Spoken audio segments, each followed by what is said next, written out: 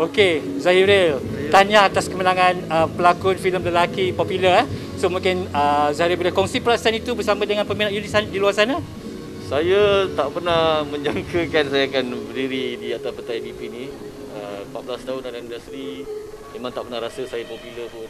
Saya cuma deliver kerja saya, uh, mungkin selama apa yang uh, kerja-kerja saya sebelum ni, mungkin orang tengok benda tu dan orang rasa nak bagi ikut hari ni. Alhamdulillah dapat dah hari ni. So lepas ni apa perancangan Zahiril agaknya?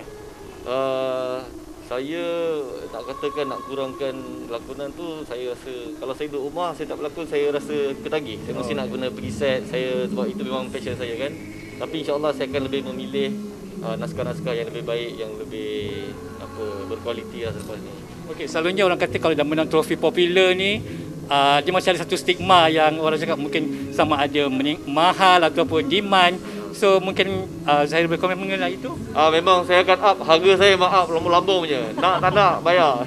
tak ada lah. Kita based on negotiation lah. Kalau cerita best, uh, script best, kita pun nak bekerja kan. Sebab kita selain daripada cari pendapatan, kita bekerja ni sebab nak fun. Kita nak seronok kan.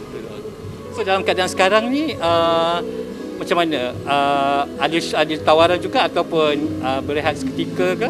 Uh, buat masa sekarang ni memang uh, tawaran tu masih ada. Cuma saya yang uh, masih memilih-milih jugalah.